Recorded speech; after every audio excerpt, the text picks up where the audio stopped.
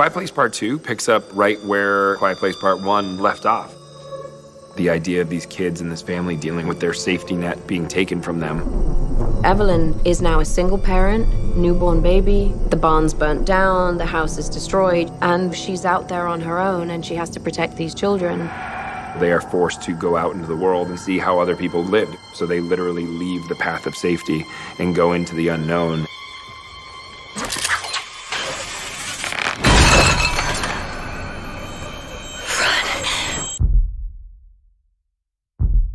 It's harrowing, it's terrifying, but at the core of it, it's a very human story. I don't know why you came all the way up here. There's nothing left. Please. She's just trying to keep everybody alive and discovers that there's other people out there, and the world changes in an instant. There are people out there worth saving.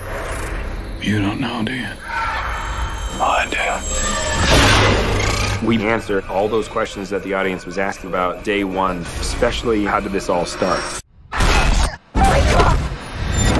Every step is much more treacherous.